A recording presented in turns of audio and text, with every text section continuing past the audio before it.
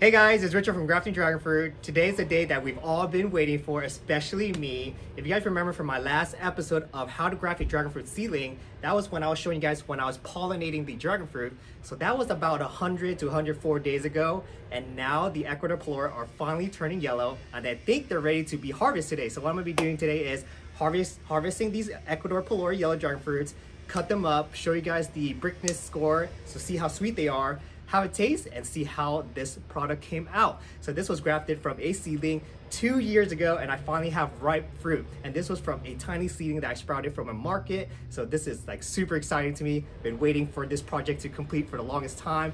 This is probably gonna be the last episode of our Ecuador Palora grafting dragon fruit seedling episode but we finally get to eat the fruit and that's everything that we worked so hard for. So let's go ahead, show you guys some of the fruits that's ready and then I'm gonna show you guys what happened to my fruits and then we're gonna harvest and then have a taste. So let me go ahead put on some gloves, get some cutters out, and then we can start harvesting. Okay, so let's talk about the Ecuador Palora fruit that are ripe. So here they are.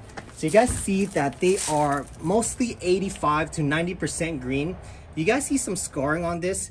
This is because I think the Ecuador Palora fruit is so sweet. The pests and bugs and ants, mainly thrips, have been biting at this. So when I started noticing that, I went ahead and got some Monterey insect spray, sprayed it, and got control of it right away. And if I didn't do that, it would have been really bad like this one right here. But luckily, it only got some of my fruits and most of them look really good. So I'm still very excited. And it's about November 30th. It's gonna be December tomorrow. And I still have a lot of Ecuador Palora that just bloomed and I pollinated them. And so let's see how they would go through the winter. And I'll keep you guys updated to see how they go through the winter, if they survive, and if they're gonna actually turn yellow and become a nice big fruit, like all of these other Ecuador Paloras that I have here. All right, so let's go ahead and harvest some. There is one deep in here that I would like to get. Let me grab my gloves. So make sure you guys have some gloves when you guys are harvesting this uh, variety because they do have spikes on them, but don't be worried because once you kind of brush it like this, they fall off right away. You guys see the spikes right here? Look, they come right off. Okay, so this is the one that looks the best to me. This is the one I want to showcase you guys, cut open and eat and show you guys what this Ecuador Palora looks like inside. And uh, let's see if it's true to parents and if it tastes the same. They all look very like the Ecuador Palora. Now we just gotta taste it and see what it's like. So here's the one I'm gonna harvest today. It is beautiful. I'm gonna cut it with a little bit of the branch on. And here we have it, you guys. This is the Ecuador Palora that was grafted from a seedling and now we have fruit. And you guys see there's a lot of spikes on it, but you can tell I'm kind of brushing off and they come right off. Okay, so here it is. Beautiful, beautiful Ecuador Palora fruit. We're gonna go ahead and go and check out all these other ones, harvest the rest, and then we'll cut this open, okay? So, that has been 104 days. So about 90 days 90 days that's about three months from the day that i pollinated it with its own pollen so it's self-fertile we confirmed that. And it took 90 days for it to actually start to turn yellow. So at 90 days it looked like this. It was green very yellow. So i wanted it to be more yellow but you know the weather's getting cooler so it starts to get a little bit harder for the fruits to ripe quicker. So i just waited an extra 10 days. In my case, I waited 14 days for this one. So this is what it looks like for 104 days. And I am in Orange County, Southern California. And it doesn't look too bad. So I would say 95% yellow, just a little bit of green left. But still looks really good, really cool to have one of these Ecuador Paloras growing in your own garden. Okay, so I'm gonna go ahead and just harvest more fruit. Then we're gonna go ahead and get into the tasting. Okay, so I'm gonna move pretty quick here. So we can go ahead and get into the fruit because I know you guys all want to see that. Really cool. Like look very prickly, guys. So be very careful. That's why I'm wearing gloves. Normally I would harvest dragon fruit without the gloves, but today I need it.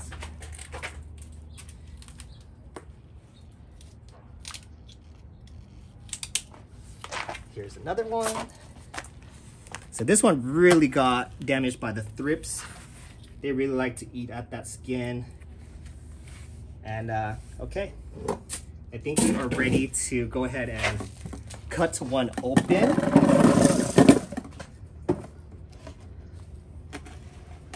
And uh, let's see how this tastes.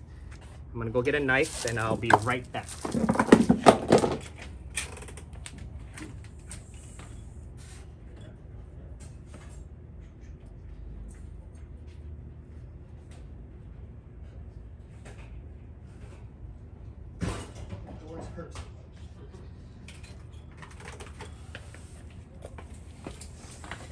Okay, we are back with our knife.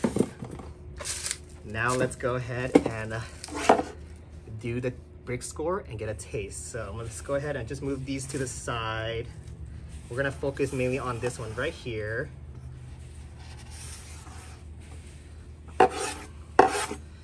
Okay, you guys. So here it is. This is the one that we're gonna be opening.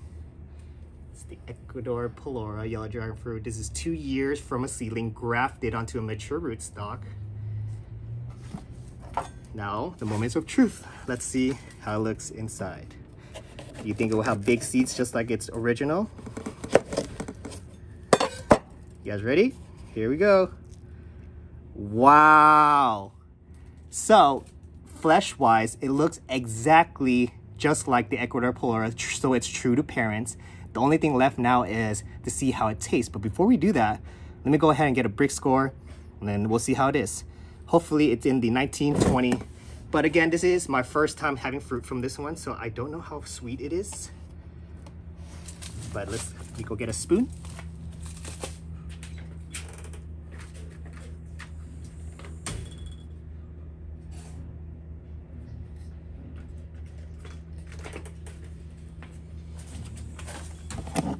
You guys know I like to use my garlic presser. This is my favorite thing to extract juice from smells so sweet, just like the Ecuador Palora. Texture is pretty firm, very juicy. Just throw that in there. Seeds are big, just like the original that I've always seen. Let's go ahead and get some juices. And you guys saw how easy and quick that was to get the, that juice in there. And let's see. 20.6 Wow, you guys, 20.6 is so sweet. And this is the first time I've ever had fruit from this uh, variety here. This is the first time it ever fruited and the, the, the Brix score is so high. 20 is very sweet, you guys. So I'm expecting to bite, bite into crystallized sugar and honey flavors once I eat this. All right. This is so exciting, you guys. You guys, I'm just, as you can see, I'm like a kid in a candy store with this variety. This is my favorite variety of dragon fruit to eat. It is just so good, so sweet, and you know, it's so easy to eat. I can eat so many of these.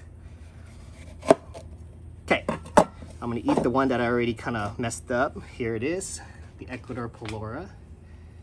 And I've eaten a lot of Ecuador Paloras during my time of eating dragon fruit, so I will definitely know if it's gonna be true or not, okay? So here it goes, guys, moment of truth. Let's get a drum roll.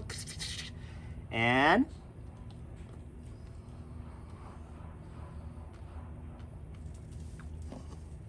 two thumbs up. You guys, this is so sweet. It tastes just like the Ecuador Paloras that I buy in the market. I am so happy right now, you guys. Wow. Now that I have the Ecuador Palora and I know that it tastes good, I can finally offer you guys these cuttings and varieties in my website once it's finished. It's gonna be called graftingdragonfruits.com. And wow, this is astonishing. Mmm. It's so sweet, you guys. There's no tart. Tastes just like honey, crystallized sugar. I love how the seeds are really crunchy. Mmm. This is amazing.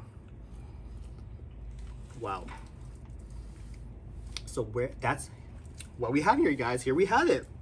The Ecuador Palora grown from a seed, grafted onto a mature rootstock. It took me two years to finally harvest fruits from it. And I can just say I am not disappointed at all. This has meet my expectation and exceeded. 20.6 for the Brix score. This is definitely a keeper. I'm so happy, you guys. Okay. Well, that's how you guys are going to be grafting dragon fruits and that is why we graft dragon fruit seedlings so you guys can get to this point and have this fruit that's not even here in America yet but now I have it.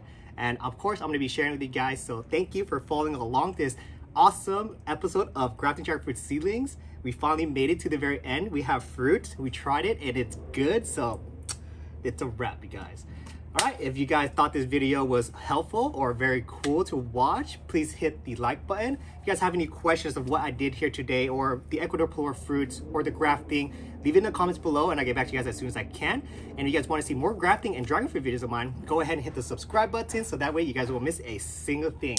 Have a wonderful day now. Bye guys.